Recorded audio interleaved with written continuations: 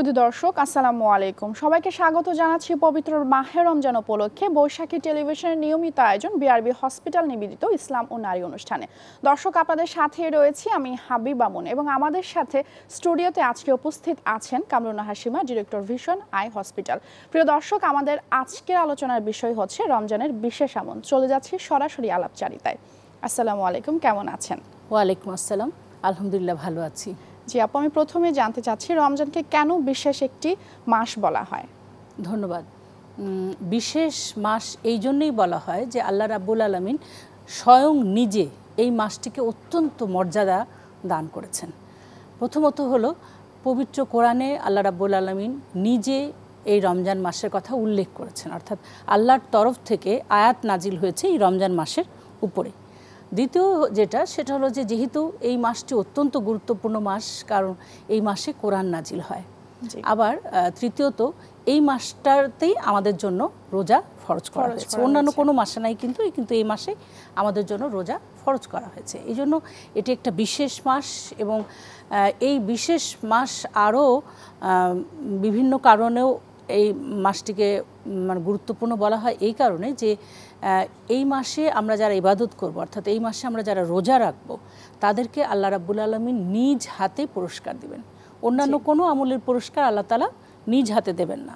দুই নম্বর হলো রোজাদার ব্যক্তি যারা অর্থাৎ যারা রোজা রাখবে এই মাসে তাদের জন্য জান্নাতে একটি গেট তৈরি করা আছে। রাইয়ান নামক একটি গেট তৈরি করা আছে শুধুমাত্র যারা দুনিয়াতে রোজা রাখবে আল্লাহকে সন্তুষ্ট করার জন্য তারাই শুধুমাত্র সেই গেট দিয়ে প্রবেশ করতে পারবে। তো এই জন্য বিভিন্ন কারণে আসলে এই মাসটা অত্যন্ত সম্মানজনক অত্যন্ত গুরুত্বপূর্ণ এবং যেহেতু এটা একটা বিশেষ মাস এবং বিশেষ মানে বিশেষ একটা আমল এই আমলটা একমাত্র আল্লাহ রাবুল আলমিন ছাড়া আর কেউ জানে না। শুধুমাত্র যেই বান্দা রোজা রেখেছে আর শুধুমাত্র আল্লাহ। এই দুইজন ছাড়া আর কারও বোঝার উপায় নেই যে আসলে সেই আমলটি করেছে কিনা। আমরা এই রমজানে কোন আমলগুলো বেশি করব? মানে আমাদের কিন্তু একটা গতানুগতিকভাবে অভ্যাস হয়ে গেছে যে আমরা এই মাসটাকে উদযাপন করি কীভাবে? এই চারটা কাজ দিয়ে। ইফতার করব সেইরি করব আর রোজা রাখব আর দেখা যাবে নামাজ যতটুকুন পড়ার দরকার অতটুকুন পড়ব। কিন্তু আসলে এই মাসটা এত গুরুত্বপূর্ণ এবং এই মাস থেকে যদি আমি ফায়দা নিতে চাই তাহলে কিন্তু আমাকে অনেক অনেক বেশি আমল বাড়িয়ে দিতে হবে। এই জন্য এই গতানুগতিক আমল ছাড়া আমরা আরও কিছু আমল করার চেষ্টা করতে হবে আমাদেরকে। বিশেষ আমল আমরা এই রমজানে কোনগুলো করব? আজকে যদি আমরা রমজানে জানি যে আসলে রমজানের আমলগুলো কি কি বিশেষ বিশেষ আমলগুলো কি কি তাহলে কিন্তু সেগুলো পালন করা আমাদের জন্য কিন্তু সুবিধা হবে। যেমন প্রথম যেটা সেটা হলো যে আমরা চাঁদ দেখাটাকে আমরা কিন্তু কোনো সবের কাজই মনে করি না। কিন্তু চাঁদ দেখাটা কিন্তু সুন্নত। মানে এটাতে কিন্তু একটা সব হয়। আমরা যখন রমজান আসবে রমজানের চাঁদ যখন উঠবে তখন ওই চাঁদটা আমরা দেখব।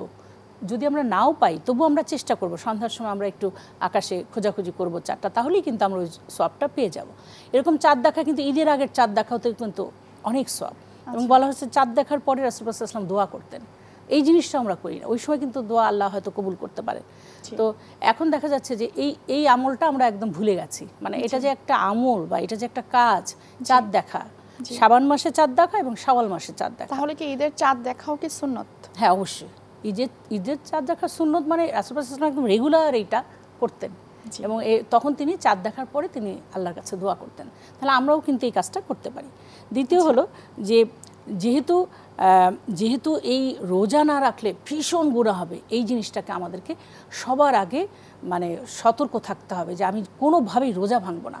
কারণ রোজা ভাঙলে আমার বলা হচ্ছে যে কেউ যদি ইচ্ছাকৃতভাবে একটা রোজা ভাঙে বা কাজা করে সারা জীবন যদি সে রোজা রাখে তাহলে ওই রোজার ঘাটতি সে পূরণ করতে পারবে না।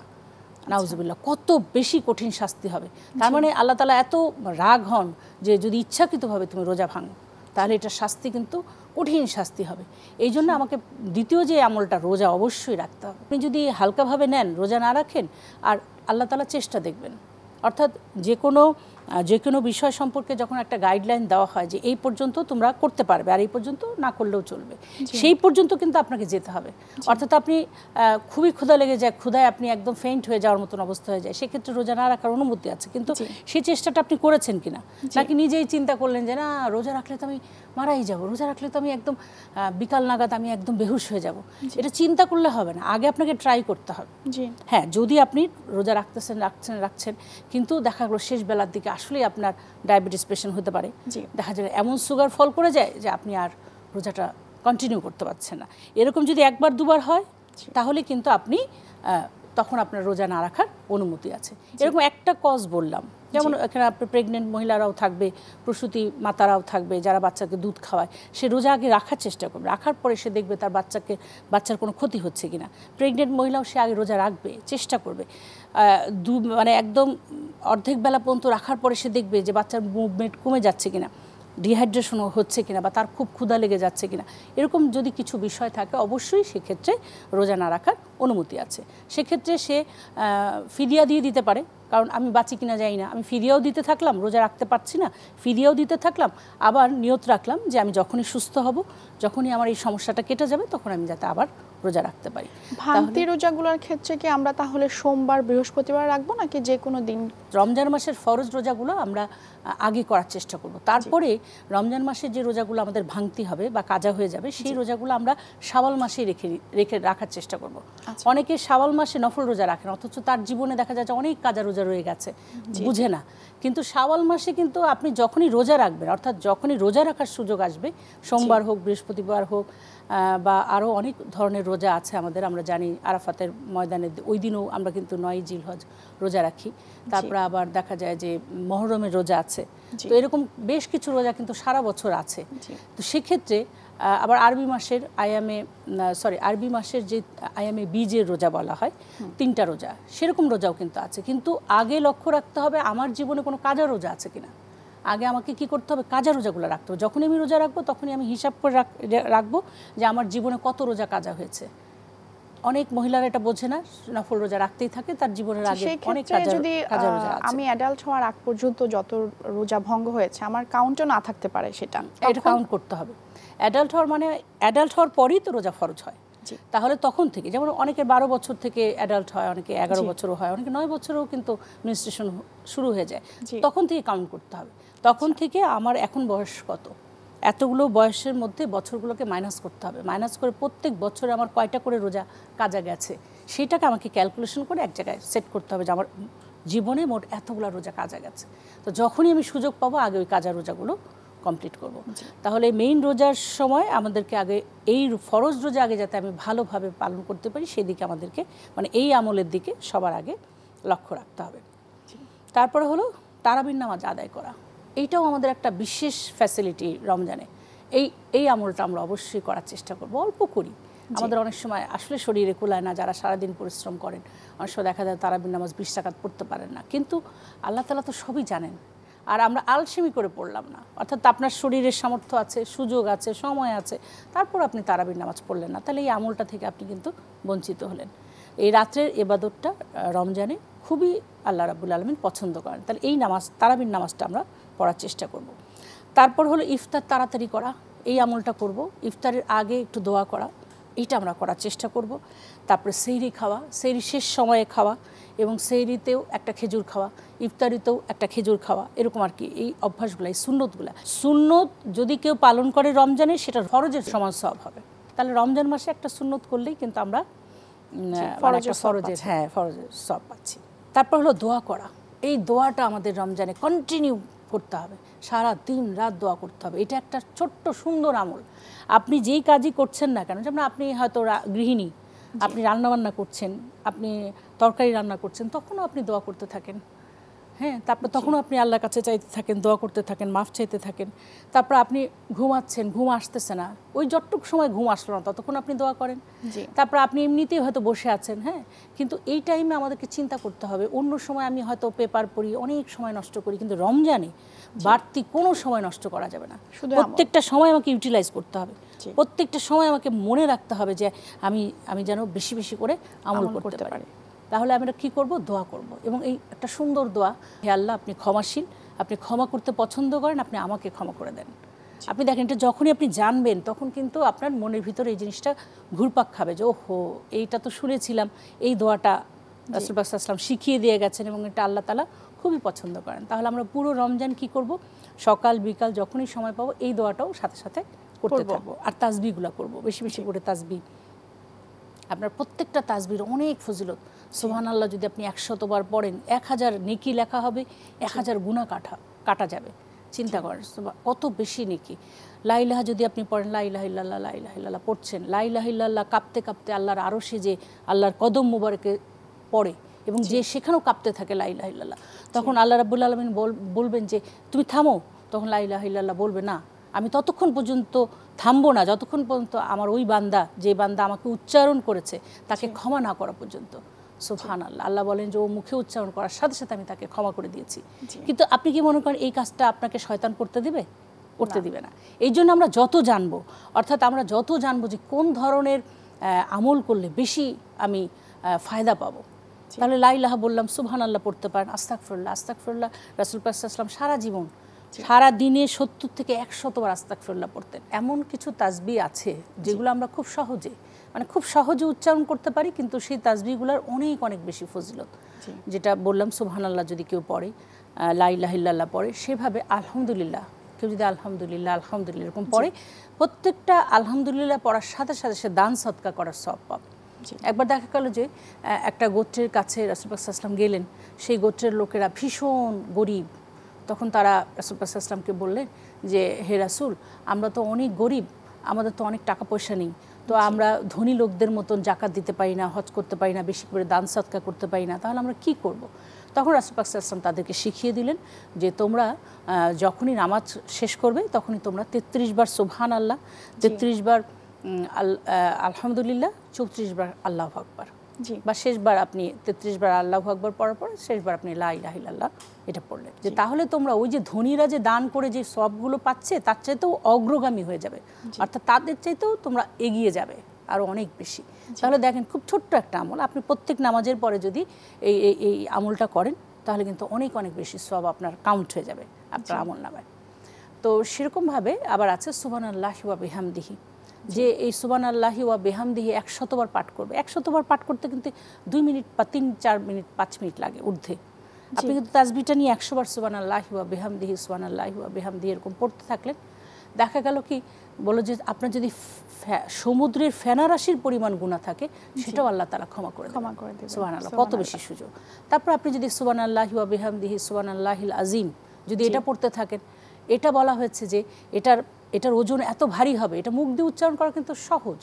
খুব কি কঠিন? সুবান আল্লাহি ওয়া বেহামদিহি সুবান আল্লাহিল আজিম আপনি এটা পড়বেন বলা হচ্ছে যে এটাকে যখন মাপা হবে তখন মাপের সময় এটা এত ভারী হবে যে লোকজন অবাক হয়ে যাবে। তারপর আপনি পড়তে পারেন লাহাউল্লাহ কুয়াতা ইল্লা বিল্লাহ। ছোট্ট একটি তাসবি লাহাউল্লাহ কুয়াতা ইল্লা বিল্লাহ। এটা পড়লে কি হবে? বলা হচ্ছে যে এটা হলো বেহেস্তের একটা গুপ্তধন। গুপ্তধন মানে কি? গুপ্তধন মানে অত্যন্ত মূল্যবান একটা জিনিস। তোমরা এটা পাঠ করো বেশি বেশি করে। আবার বলা হয়েছে যে এই লাহাওলা যে পাঠ করবে তার অনেকগুলা মানে বিষয় থেকে তাকে মুক্ত রাখা হবে। তার মধ্যে হলো চিন্তা। আপনি যদি দেখেন যে কাউকে। খুব হ্যাঁ দুশ্চিন্তা। মানে সবচেয়ে ছোট ফ্যাসিলিটি সে পাবে মানে সুযোগ পাবে সুবিধা পাবে সেগুলো সে চিন্তা থেকে মুক্ত থাকবে। তাহলে এই আমলটাও আমরা করতে পারি। আবার কেউ কাউকে যদি আপনি দেখেন যে খুব টেনশন করার টেন্ডেন্সি তার সোজা তাকে বলে দেবেন তুমি সবসময় লাহাওলা পড়বা দেখবেন আপনি কিছুদিনের মধ্যেই তার ওই টেনশন করার টেন্ডেন্সি যেটা সেটা কমে যাবে। এতে করে তার বিপদও কেটে যাবে। হ্যাঁ অবশ্যই অবশ্যই হ্যাঁ। তো এরকম করে আমরা লাই লাহিল্লান্তা সুবহানাকা এটাও পড়তে পারি দোয়া ইনুসও পড়তে পারি। তাহলে আমি কি বললাম যে এই পুরো রমজান মাসটা আমাদেরকে বিভিন্ন ধরনের দোয়া বিভিন্ন ধরনের তাসবি এটা আমাদেরকে প্ল্যান করে করে। প্ল্যান না আমি বারবার বলি প্ল্যান চলে আসে আসলে মাথায় কিন্তু আসলে প্ল্যান না নিয়ত করতে হবে। যে আমি এই রমজান মাসে এই তাসবিগুলো সবসময় পড়ব বা এই দোয়া সবসময় আমি আল্লাহর কাছে দোয়া চাইতে থাকব। আমার সন্তানের জন্য আমার স্বামীর জন্য আমার পরিবারের জন্য আমার নিজের জন্য হ্যাঁ আত্মীয় স্বজন। আপনি একটু চিন্তা করে দেখেন রমজান মাসে আল্লাহ রাব্বুল আলমিন সাধারণ ক্ষমা করে দেবেন। প্রতিদিন রাত্রে হাজার হাজার লক্ষ লক্ষ বান্দাকে তিনি কিন্তু ক্ষমা করে দেবেন। এগুলোকে বলা হয় সাধারণ ক্ষমা। অর্থাৎ আল্লাহ খুশি আছেন আল্লাহ এখন সাধারণ ক্ষমা করে দিবেন। এখন এই সাধারণ ক্ষমা করে দিবে কিন্তু আপনি সাধারণ ক্ষমা চাইলেন না। আপনি ক্ষমাই চাইলেন না। আপনি এমন একটা বান্দা আপনি জানেন যে এই সময় এই জায়গাটায় এই ফ্যাসিলিটি দেওয়া হবে। ধরেন আপনাকে ঘোষণা দেওয়া হলো রিক্সা দিয়ে ঘোষণা দিয়ে গেল মাইকিং করে গেল ভাই এখানে যারা যারা আসবেন তারা একটা করে শাড়ি পাবেন লুঙ্গি পাবেন। ধরেন আপনি শুনলেন কিন্তু গেলেন না। আপনি কি পাবেন ওই ফায়দা? পাবেন না। আর আরেকজন হলো শুনলই না তার বড়তেই নেই। আরেকজন হলো শুনলো এবং গেল। তাহলে সে পেল। ঠিক সেইভাবে রমজানটা আমাদের এত ফজিলত, রমজানে আমাদের এত সুযোগ সুবিধা আল্লাহ তালা দিবেন, সাধারণ ক্ষমা করে দেবেন। আমি আমার চোদ্দ পুরুষ মানে আমার পূর্বপুরুষে যারা মারা গেছেন, তাদের জন্য আমরা দোয়া চাইব। আমার দাদা, নানা, খালা, ফুপু, যত মানুষ আছে যারা দুনিয়া থেকে চলে গেছেন, তাদের জন্য চাইব, আল্লাহ আপনি ক্ষমা করে দেন। সমস্ত পৃথিবীর মুসলমানদের জন্য আপনি চাইবেন যে তাদেরকে ক্ষমা করে দেন। এখানে একটা হাদিস আছে, যদি আপনি অন্যের জন্য চান, তাহলে সেটা আবার আপনার জন্য কার্যকর হবে। এবং প্রত্যেকটা অন্য যার জন্য আপনি চাবেন তার জন্য আবার একটা করে নিকি আপনাকে লেখা হবে। আপনি যদি দোয়া করেন হে আল্লাহ দুশো কোটি মুসলমানেরকে আপনি ক্ষমা করে দেন। তাহলে ওই দুইশো কোটি নেকি কিন্তু আপনার লেখা হয়ে গেল। আমি যখন আমার এক ভাইয়ের জন্য দোয়া করব তখন ওই যে দোয়াটা করলাম সেটা আমার জন্য উপরে আল্লাহ তালা দিয়ে দেবেন। হ্যাঁ? তো এরকম করে করে আমরা কি করব? এই রমজানে যেহেতু আল্লাহ তালা সাধারণ ক্ষমা ঘোষণা করে দেবেন আমরা বেশি বেশি বেশি বেশি করে আমল দোয়া করব। এরপরে আমাদেরকে যে আমলটা করতে হবে মিথ্যা কাজ এবং মিথ্যা কথা দুটোই পরিহার করতে হবে। আমরা জানি যে হাদিসে এসছে আল্লাহ রাব্বুল আলমিন বলে যে আমার যেই বান্দা হ্যাঁ মিথ্যা কথা এবং মিথ্যা কাজ পরিহার করে না অথচ রোজা রাখে। মানে রোজা রেখে এই দুটো কাজ সে পরিহার করল না তাহলে তার উপবাস থাকাটা আমার কোনো প্রয়োজন নেই। তার মানে কি রোজাটা কবুল হচ্ছে না? না না কবুল হচ্ছে না প্রশ্নই আসে না রোজা নষ্টই হয়ে যাবে। তাহলে এটা কিন্তু আমাদের একটা টার্গেট রাখতে হবে যে আমি রমজানে মিথ্যা কথা বলব না মিথ্যা কোনো কাজও করব না। এরপর আছে যে ঝগড়া বিবাদ থেকে দূরে থাকা। এখানেও সরাসরি হাদিস আছে। রাসুল ইসলাম আমাদেরকে শিখিয়ে দিয়েছেন রোজাদার যখন তোমরা যখন রোজা রাখবে তখন যদি কেউ তোমার সাথে ঝগড়া করতে আসে তখন তুমি সঙ্গে সঙ্গে বলে ফেলবে ভাই আমার সাথে ঝগড়া করতে আসেন আমি রোজা রাখছি। জি। এইটা বলাই কিন্তু সব এইটাই সুন্নত। তার এইটাই মানে আমাদেরকে মিথ্যা বলছে মজা করে মিথ্যা বললেও সেখানে রোজাটা ভেঙে যাচ্ছে। হ্যাঁ ওটা ভেঙে যাচ্ছে আবার এই যে ঝগড়া যদি আপনি কেউ আপনার সাথে ঝগড়া করতে আসে তারপর আপনি যদি ঝগড়া শুরু করে দেন আপনার রোজাটা হ্যাম্পার হয়ে যাচ্ছে। হয়তো মাকরু হয়ে যাবে। এরকমও হতে পারে। তাহলে আমাদের কি করতে হবে? রমজানে আমাদের এই আমলটার দিকেও নজর দিতে হবে যে আমরা কোনোভাবেই কারোর সাথে ঝগড়া করব না। সেটা স্বামী স্ত্রী হোক। স্বামী স্ত্রী টুকটাক কিন্তু লেগেই থাকে। এটা লাগতেই থাকে। শাশুড়ি বউ লাগতে পারে ননদ দেবরের সাথেও ভাবিদের লাগতে পারে এরকম ভাই বোনের সাথেও লাগতে পারে। তাহলে এই পুরো রমজান আমাদেরকে কি খেয়াল করতে হবে? যে এই আমলটা আমি করব ভাই রমজানে অন্তত রোজা রেখে রোজাটাকে নষ্ট করব না। এত কষ্ট করে না খেয়ে রোজা রাখছি পানিও খাই না এক ফোঁটা। তাহলে এই রোজাটা আমি এই ঝগড়া বিবাদ করে নষ্ট করে দিব? যখনই ঝগড়ার সিচুয়েশন তৈরি হবে তখনই আমাকে মনে করতে হবে আমি রোজা এবং যে আপনার সাথে ঝগড়া করতে আসছে তাকে বলুন ভাই আমি ঝগড়া করতে রাজি না আমি রোজা রেখেছি। একটা আমল করতে হবে। তারপর হলো ইফতার করানো। ইফতার করানো কিন্তু একটা সাংঘাতিক সব। আপনি যদি কাউকে ইফতার করেন তাহলে আপনিও একটা রোজার সব পাবেন সুবহান আল্লাহ তাহলে যদি তিরিশ দিনই আপনি তিরিশ দিনের মধ্যে না হয় তিরিশ দিন আপনি পারলেন না কাউকে ইফতার করাতে। বিশ দিন টার্গেট নেন বিশ দিনও পারলেন না পনেরো দিন নেন দশ দিন এইভাবে করে যদি আপনি পাঁচ দিনও করেন তাও তো আপনার পাঁচটা রোজা আরও বাড়তি অ্যাড হয়ে গেল। আর যদি কেউ পারে সারা বছর আপনি যদি কিছু টাকা পয়সা জমান তিরিশ টাকা চল্লিশ টাকা হলে একজনকে ইফতারি করানো যায়। ছোলা বুট মুড়ি এভাবে করানো যায়। আপনার একটা টার্গেট থাকবে এই রমজানে আপনি কাউকে না কাউকে কয়েকদিন হলেও বা তিরিশ দিন হলেও আপনি ইফতারি করাবেন। তাহলে এটা কিন্তু আমাদের একটা বড় আমল। তারপর হলো কোরআন তেলওয়াতের মাস যেহেতু এটা কোরআন নাজিল হয়েছে এই মাসে আমরা বেশি বেশি করে তো কোরআন তেলওয়াত করব। আপনি অন্য সময় একটা ওয়ার্ড পড়বেন একটা অক্ষর পড়বেন দশটা করে নেকি পাবেন। আর রমজানে যদি আপনি একটা অক্ষর পড়েন সেটা পাবেন সাতশো। করে নেকি। যে আপনি বললেন যে ইফতারের যে বিষয়টা আমি একটু বলছি তো এখানে কি স্পেসিফিক কোনো মানে গোষ্ঠী আছে যাদেরকে খাওয়ালে আমরা বেশি সোয়াব পাবো? না আপনি তো আগে আপনার সারাউন্ডিং পিপল যারা আছে মানে আপনার আশেপাশে যারা আছে তাদেরকেই টার্গেট রাখবেন। আপনার কাজের মেয়েটাকেও আপনি একটু চিনি কিনে দিতে পারেন সে শরবত খেতে পারে চিনি গুড় বা এগুলো কিছু কিনে খেজুর কিনে দিতে পারেন বা তাকে একটু ডিম কিনে দিলেন যে তুমি প্রত্যেক রোজায় ডিমটা রাখবা তোমার ইফতারিতে। ওরা তো আবার পুষ্টিকর খাবার কেনা অনেক সময় টাকাটা দিয়ে দিলে হয় কি ওই টাকাটা ওরা অন্য কাজে খরচ করে ফেলে। এই জন্য টাকা না দিয়ে আপনি খাদ্য আকারে যদি কিছু কিনে দেন তাহলে ওইটা তো সে খেতেই হবে তাকে। তো এরকম করে আপনি ইফতার করাতে পারেন। এটা একটা খুব ভালো প্রসেস কারণ হাদিস এসছে রাসুল পাকসাল্লাম বলেছেন যে একটা খেজুর দিয়ে হলেও এক গ্লাস পানি দিয়ে হলেও তোমরা কাউকে ইফতার করাও। সুহান আল্লাহ তার মানে মানে অল্প একদম অল্প কিছু আপনি দিতে পারেন। আপনার বাজেট এত অল্প। আপনি ওই বাজেট দিয়ে আপনি একজনকে ইফতারের কিছু একটা কিনে দেন। এটা যদি আপনি টার্গেট না রাখেন নিয়ত না করেন তাহলে কিন্তু আপনি এই কাজটা করতে পারবেন না। তাহলে ইনশাআল্লাহ আমরা এই রোজায় এই নিয়তটা করব যে অন্তত আমি যাতে কাউকে কাউকে না কাউকে ইফতারি করাতে পারি। তারপরে যেটা বললাম কোরআন তেলত করতে হবে আমাদের বেশি বেশি করে অনেক বেশি নাকি। তারপর তেলাওয়াতের ক্ষেত্রে যেটা বলতে চাচ্ছি সেখানে কি মানে স্পেসিফিক যে সূরাগুলো অনেক বড় হ্যাঁ, বড় হ্যাঁ, সূরা হ্যাঁ, আছে? এইটা একটা আমল আছে যে একদম নির্দিষ্টই একটি হাদিস আছে যে রাসুল পাক আসলাম এই পুরো রমজানে সুরা আর রহমান পড়তেন। আচ্ছা হ্যাঁ সুরা আর রহমান এত সুন্দর একটা সুরা যেটাকে আমাদের বাংলাতে বলা হয় নববধূ। আচ্ছা। কোরআনের নববধূ। নববধূ যেমন সবসময় সুন্দর সবসময় মানুষ নতুন বউ পছন্দ করে নতুন বউ দেখতে নতুন বউ মানে কি করছে নতুন বউ মানে একটা আছে না নতুন বউয়ের যে একটা আলাদা একটা মর্যাদা বা একটা সৌন্দর্য এইটাকে বোঝানো হয়েছে যে কোরআনের নববধূ হলো সুরার রহমান। রাসুল আসলাম বলেছেন। তো আমরা কি করব? এই রমজানে সুরার রহমানটা পড়ার বেশি বেশি করে চেষ্টা করব। এরপরে দান সৎকা বাড়িয়ে দিতে হবে। দান সৎকার ক্ষেত্রেও আপনি একটা নত মানে একটা নিয়ত করবেন যে আমার যদি চারটা ড্রেস হয় আমার মা দিচ্ছে ভাই দিচ্ছে হাজবেন্ড দিচ্ছে বাবা দিচ্ছে এরকম ধরনের চারটা ড্রেস হলো। একটা ড্রেস আপনি নিয়ত করবেন যে এই ড্রেসের টাকাটা আমি দান করে দেবো। এক দুই জোড়া জুতা কেনার দরকার নেই এক জোড়া জুতা কিনলেন আরেক জোড়া জুতার টাকা আপনি দান করে দিন। এটা কিন্তু আপনাকে নিয়ত করে করতে হবে। কারণ এই রমজানের পরের রমজান আপনি পাবেন কিনা আপনি কিন্তু জানেন না। এটাই হয়তো আপনার শেষ রমজান।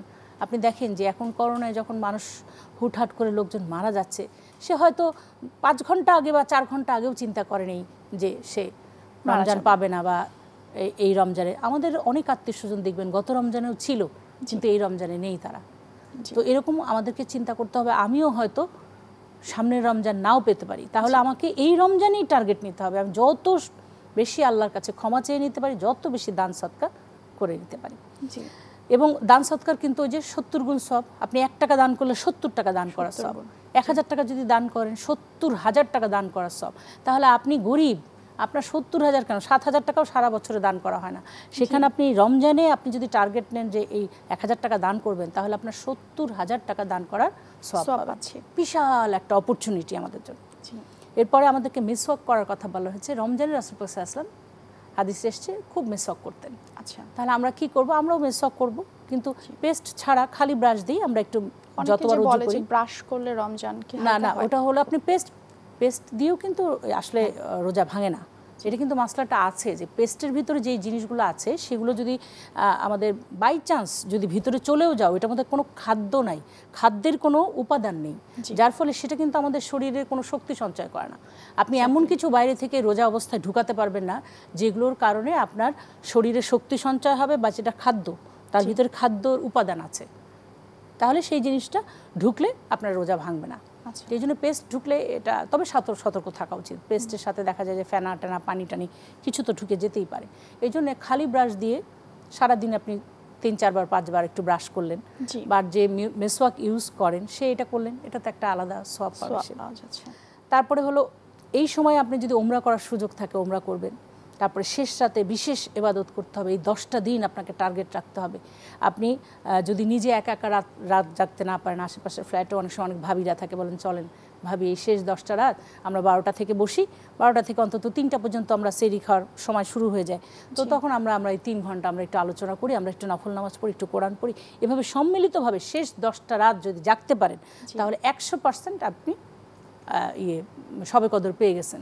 আর সবে কদর পাওয়া মানেই হলো ওই রাতে যদি আপনি কোনো ইবাদত করেন তাহলে আপনার সমস্ত পূর্ববর্তী জীবনের সমস্ত গুণা মাফ। সুবহান আল্লাহ কত সুযোগ দিয়েছেন। তাহলে এটা কিন্তু আপনাকে অসংখ্য ধন্যবাদ আমাদের স্টোরিতে আসার জন্য এবং এত সুন্দর করে গুরুত্বপূর্ণ আলোচনা করার জন্য। ধন্যবাদ আপনাকেও। দর্শকদেরকেও ধন্যবাদ। দর্শক বিআরবি হসপিটাল নিবেদিত ইসলাম ও নারী অনুষ্ঠানে শেষ পর্যায়ে চলে এসেছি। বিদায় নেওয়ার আগে জানিয়ে দিতে চাচ্ছি, বৈশাখী টিভির সব অনুষ্ঠানের আপডেট পেতে ভিজিট করুন YouTube dot com slash Baishakhi TV ভিডি এবং Facebook dot com slash Baishakhi television এছাড়া বৈশাখী টিভির অ্যাপটি ডাউনলোড করতে চাইলে প্লে স্টোরে বৈশাখী টিভি লিখে সার্চ দিন। ইমান, আমল এবং জীবন ঘনিষ্ঠ ইসলামের বিভিন্ন মৌলিক বিষয় জানতে এবং জানাতে আমি হাবিবা বোন হাজির হয়ে যাব আগামী অনুষ্ঠানে। সেই পর্যন্ত ভালো থাকুন, সুস্থ থাকুন এবং বৈশাখী টেলিভিশনের সাথেই থাকুন। আল্লাহ হাফেজ।